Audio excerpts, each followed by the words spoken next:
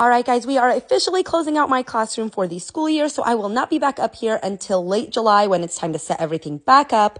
A lot of people don't know that teachers do have to move everything to the middle of the room at the end of each school year. This is for like janitorial to be able to come in and vacuum, shampoo the carpets. There was a lot of questionable stains on my floor that thankfully will be taken care of.